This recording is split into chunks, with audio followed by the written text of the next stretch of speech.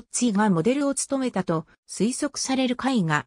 あたかも高級娼婦のように描かれているが、これは当時ベネツィア社会の自立した女性のイメージでもあった。バルバラ・ストロッツィは、イタリア初期バロック音楽の作曲家、声楽家。台本作家、ジュリオ・ストロッツィの養子であったが、おそらくその私生児であった可能性が高い。父、ジュリオの音楽討論サークルに歌手や会員として参加し、またフランチェスコ・カバッリに作曲を指示。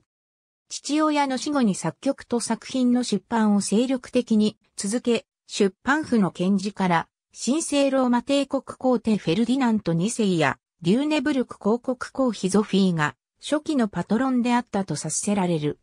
作品の大半は、ソプラノと数日付きバスのために作曲されており、これらはストロッツィ自身が歌うために作曲されたものと推測される。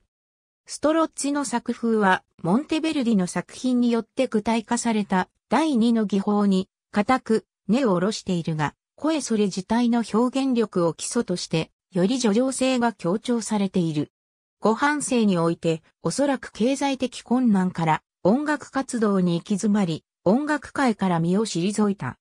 その後の消息と没年については長らく不明とされてきたが、近年になって養育費の必要から氷菓子を営んでいたことが明らかにされた。ありがとうございます。